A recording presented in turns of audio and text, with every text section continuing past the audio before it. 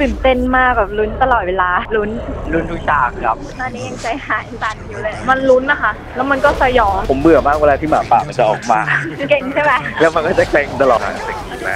ชอบพระเอกค่ะเขาก็แสดงออกมาให้เรารู้สึกแบบเหนื่อยไปด้วยฮะก็ดูแล้วก็เหนื่อยเหนื่อยไปกับเขาก็ดูแล้วก็จะตายมีอะไรทิ้งไว้ให้คิดเยอะมันสะท้อนให้เห็นชีวิตในปัจจุบันนะคะที่คนเราทุกคนต้องต่อสู้ดิ้นรนเพื่อจะเอาตัวรอด ต้องมีสติแล้วก็สามัคคีกันเอาไว้จะรอดได้หนังอีกเรื่องหนึ่งที่น่าดูนะครับเพราะว่า ได้เห็นถึงการเอาตัวรอด การจะเอาตัวรอดเนี่ย เราต้องมีสติ